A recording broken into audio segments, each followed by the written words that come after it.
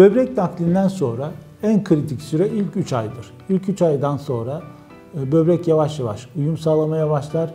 Birinci yılın aşılması önemlidir. Üçüncü yıldan sonra her şey artık daha e, sağlıklı olarak gitmektedir.